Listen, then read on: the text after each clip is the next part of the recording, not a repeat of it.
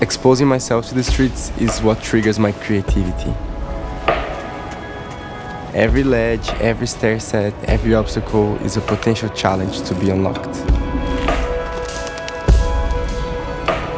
The city has its own rhythm, like a unique flow. And so does every line. Every gap, every wall, I always want to be as smooth as possible. The line is always there. You just have to find it and interpret it in your own way.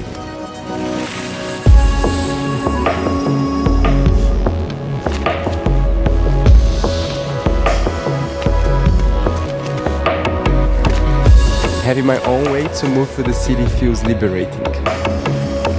At some point, I just ride the stream of flow carrying me forward. It doesn't matter if I'm on wheels or using my feet. It's all about keeping the momentum going.